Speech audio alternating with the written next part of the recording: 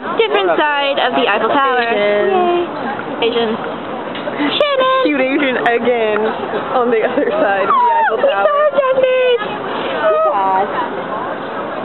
I wonder if we can Stalker, call- stalker, stalker, stalker, Stalker. Hey, hey! I want to. I want to wave to him. hey. No. Anyways, awesome view. It's awesome.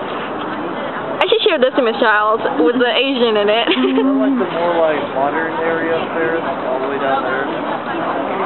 uh,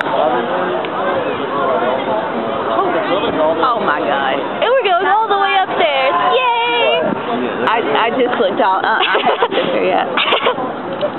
Say hi to Miss Childs, Tanner. I'm a child.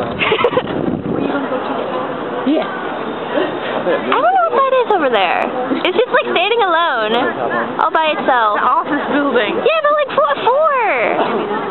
No. Domes. Oh, is, is that the uh, Opera House over there? The big gold dome? I think that's the Hotel de Invalides or Invalids or whatever. Oh, Because there's no. Where? somewhere I saw it. I, I saw it. There, it's moved. Notre Dame moved now. Where? I just saw it. Point Tower. Somewhere around there. Yeah, Notre Dame doesn't have pointy towers. Yeah, it does. No, it doesn't. Yeah, Notre Square one. Notre Dame is Square one. really It's the big square flat. one. No, it has two big square And towers. a pointy Yeah, one in the it's back. Towers, not pointy towers. Yeah, but much shorter and still standing. Somewhere in that general direction. Oh, I see it. Oh, I see it. I see it, yeah.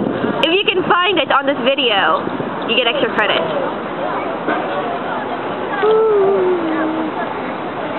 House is over that way because you, you can see Sacre Coeur from the top of the Opera. Oh, Soccer Club. The Secret Church. There's the Seine River again.